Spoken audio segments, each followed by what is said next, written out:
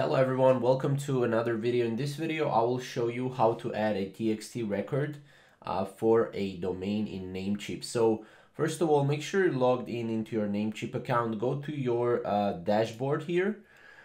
And from your dashboard, obviously you'll need to be logged in. I'm not logged in currently, so sign in and log in. And from your dashboard right here, go to domain list, right? Um, from domain list, go to manage here. And from manage, what you will have to do is you will have to go to domain. And then here, as you can see, you have a lot of different things. But what we need to do is we need to go to advanced DNS here.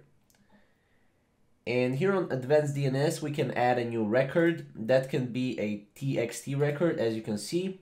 The host is always at right here and the value you need to get the value from your service provider or from someone that is uh, you know providing your service hosting provider as well uh, so make sure you put that in here and then you just click here to save changes and that will pretty much save changes for this particular domain. So this is basically how to add a TXT record for a domain in Namecheap. If you have any questions or comments, comment down below and we'll see you in the next video. Thank you guys for watching.